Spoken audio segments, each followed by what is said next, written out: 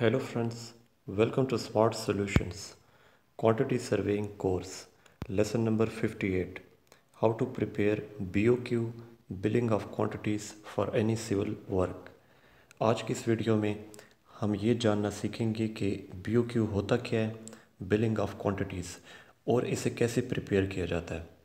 तो ये वीडियो इस लिहाज से इम्पोर्टेंट है कि हमें बीओक्यू के बारे में कम्प्लीटली पता होना चाहिए और साथ में हमें ये भी पता होना चाहिए कि बीओक्यू और एस्टिमेट में क्या डिफरेंस होता है और बीओक्यू को हम किस तरह प्रिपेयर कर सकते हैं किसी भी सिविल वर्क के लिए।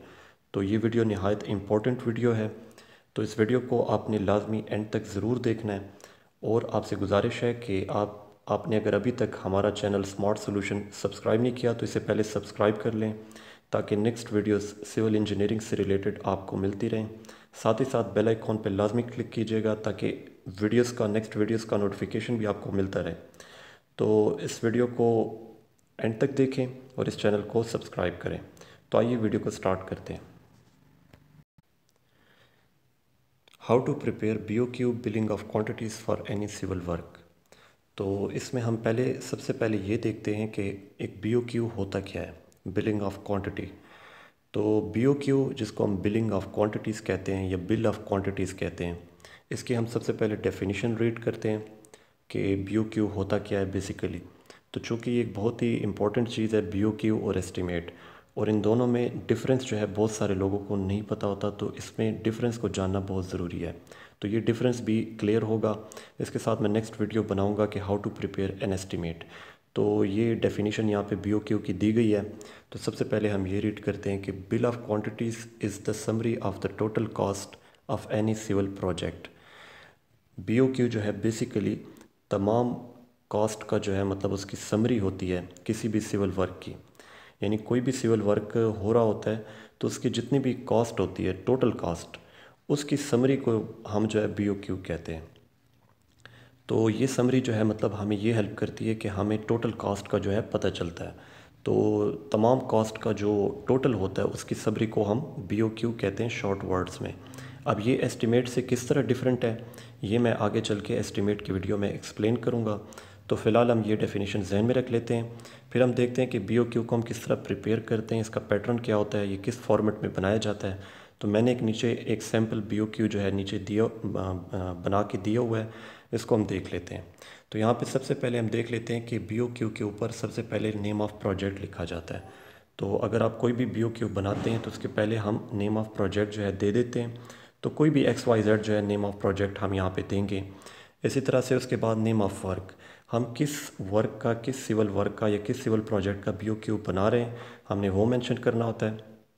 तो यहाँ पे सैंपल के तौर पे हम लिख लेते हैं कि repair and maintenance of A B C works तो रिपेयर और मेंटेनेंस कर रहे हैं हम किसी भी वर्क की। तो रिपेयर ये रिपेयरिंग और मेंटेनेंस का बीओक्यू है। उसके बाद हम देख लेते हैं इसकी लोकेशन या प्लेस जहाँ पे ये वर्क हो रहा होता है। तो ये थोड़ा सा बायो डेटा देना पड़ता है उस वर्क की डिटेल्स में। उसके बाद बी क्यू में हम एक टेबल बनाते हैं serial numbers description unit quantity unit price और टोटल तो ये बी क्यू का सैंपल होता है कि इसमें सीरियल नंबर होता है, उसमें डिस्क्रिप्शन होती है आइटम्स की कि जो जो आइटम्स जो जो आइटम्स हैं जिनकी हमने कॉस्ट मालूम करनी है। तो उसके साथ में यूनिट दी गई होती है कि वो जो आइटम है वो किस यूनिट में होगा क्वांटिटी दी गई होती है और यूनिट प्राइस दी गई होती है और फिर एंड पे टोटल दिया होता है।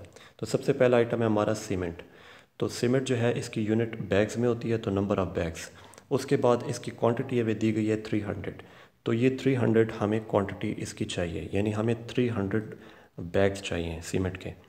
तो इसकी यूनिट प्राइस है फॉर एग्ज़ाम्पल 600 मार्केट में। तो ये मैं एक एग्ज़ाम्पल के तौर पे दे रहा हूँ यूनिट प्राइस तो हमने इसकी टोटल कॉस्ट जो है किस तरह मालूम करनी है कि यूनिट प्राइस को हमने मल्टीप्लाई करना है? हमने जो यूनिट प्राइस है इसको मल्टीप्लाई कर देना है क्वांटिटी से. तो ये six hundred into three hundred तो ये आ जाएगा हमारे पास one one lakh eighty thousand rupees तो one lakh eighty thousand rupees जो है हमारे पास इसकी टोटल कॉस्ट आ जाएगी। अब ये टोटल कास्ट हमने किस तरह मालूम की हमारे पास दो चीज़ें होनी चाहिए? एक होनी चाहिए क्वांटिटी और एक होनी चाहिए यूनिट प्राइस तो यूनिट प्राइस और क्वांटिटीज़ अगर हमारे पास होती है तो हम जो है उसकी टोटल कास्ट मालूम कर सकते हैं। अब ये जो क्वांटिटी है, ये हम कैसे मालूम करते हैं? इसके लिए हमें एस्टीमेट की मदद लेनी पड़ती है चूँकि एस्टीमेट में हम ये क्वांटिटी निकालना सीखते हैं। तो ये डिफरेंस होता है बी में और एस्टीमेट में। कि बी ओ क्यू में हमें क्वांटिटीज़ तमाम दी गई होती हैं, पहले से निकाली गई होती हैं, और ये क्वांटिटीज़ निकाली जाती है एस्टीमेट के अंदर।